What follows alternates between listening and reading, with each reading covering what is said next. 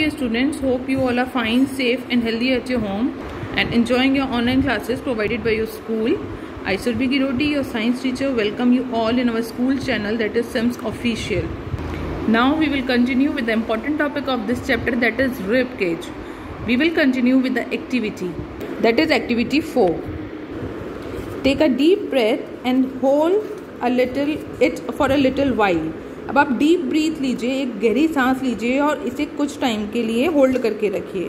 Feel your chest bone अब इस समय आप अपनी चेस्ट बोन को फील करिए। And the back bone by gently pressing the middle of the chest and the back at the same time और आप बैकबोन को जेंटली प्रेस करके अपनी चेस्ट का मिडल और उसी टाइम इसको ऑब्ज़र्व करके देखिए। Count as many ribs bones of the chest as possible जितना पॉसिबल हो सके, आप अपनी रिब्स की बोन को चेस्ट की बोन को ऑब्ज़र्व करके देखिए। देखिए, ये आपको दिया हुआ है फिगर रिब केज का।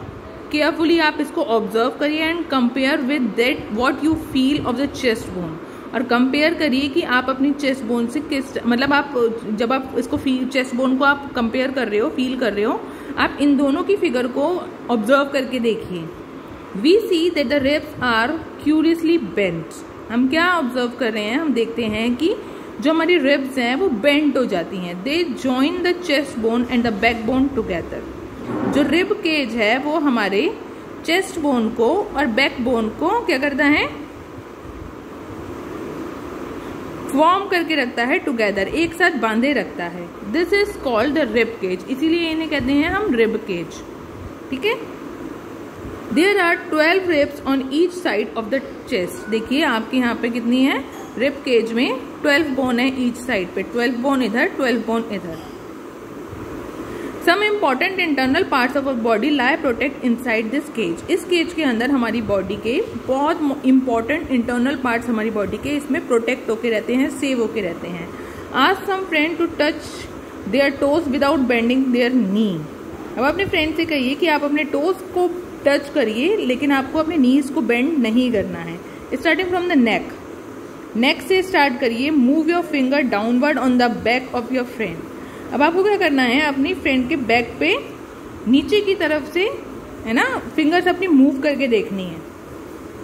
What you feel is a backbone जो आप फील कर रहे हैं, वो आपका क्या है बैक बोन क्या आपको फिगर भी गिवन है बैक बोन का? इस टाइप से होता है आपके बैकबोन का figure it is made up of many small bones called vertebrae जो आपका बैकबोन है, वो छोटी छोटी बोन से मिलकर बना है, जिनको हम वर्टिब्री कहते हैं। जैसे आपका जो रिस्ट था, है ना, वो भी छोटी छोटी बोन से मिलकर बना था, जिनको आप कापल्स कह रहे थे। इसी, ऐसे आपका बैकबोन होता है, जो स्मॉल स्मॉल बोन से मिलकर बना होता है, जिसको आप वर्टिब्री कहते हैं, ठीक है? The backbone consist of thirty three Varti thirty three vertebrae आपके बैकबोन में जो वर्टिब्री हैं ये स्मॉल स्मॉल बोन्स जो हैं, कितने होते हैं? थर्टी थ्री बोन्स होते हैं। The rib cage is joint to these bones और रिब केज जो होता है, इन्हीं से ज्वाइंट रहता है, इन्हीं बोन से ज्वाइंट रहता है। If backbone was made up of only one long bone will your friend be able to bend क्या आपका जो बैकबोन है, वो सिर्फ़ एक लॉन्ग बोन का बना होता है, ये सिर्फ़ सिंगल बोन होती है स्मॉल स्मॉल बोन्स ना होती। तो क्या आपके फ्रेंड या फिर आप बेंड होने में एबल होते? नहीं. Make your friend stand with both stand both hands press to the wall and ask her to push the wall now make your friend stand with both hand press to the wall and ask her to push the wall अब आपको अपने friend से कहना है कि आपको क्या करना है? वॉल को प्रेस करते हुए वॉल को पुश करते हुए अपने दोनों हैंड से, है ना? तब खड़े होना है. Do you notice two bones on the back are prominent where the shoulders are क्या आप उन बोन्स को फील कर रहे हैं जो आपके शोल्डर्स के बैक पे हैं? देखिए, आपको फिगर भी ये गिवन है शोल्डर बोन्स का, है ना? They are called shoulder bones इनको हम क्या कहते हैं? शोल्डर बोन्स कहते हैं. ऑब्ज़र्व फिगर 8.13 केयरफुली ये आपको 8.13 केयर फिगर दिया हुआ है.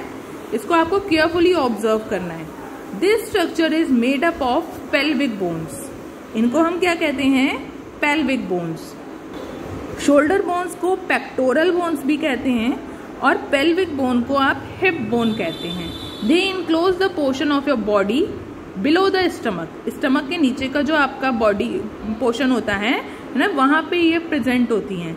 This is the upper this is a part you sit on ये वही पार्ट है जहाँ से आप सिट होते हैं बैठते हैं। इनको हम हिप बोन भी कहते हैं।